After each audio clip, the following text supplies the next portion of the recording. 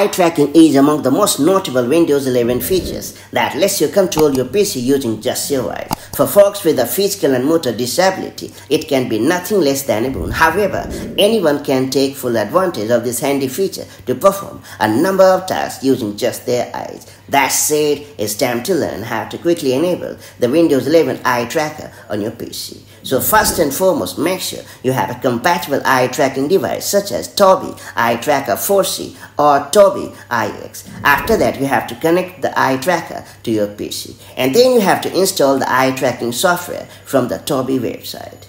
And once you have taken care of all the basics, you have to click on the Start menu on your computer and then you have to select the Settings option. After that, you have to choose the Accessibility option in the left sidebar and then you have to choose the eye control option. And finally you have to enable the toggle right next to eye control and you are all set. Now get the most out of the launchpad to control and use your Windows computer. From letting your fine-tune general settings to browse the web to customizing your favorite app and much more the eye tracking feature can let you perform almost everything on a Windows computer. So never fail to get the most out of it as and when the need arises. And I'll catch you up in the next video with more such handy tips and tricks. Till then, stay safe and a good time. Bye bye.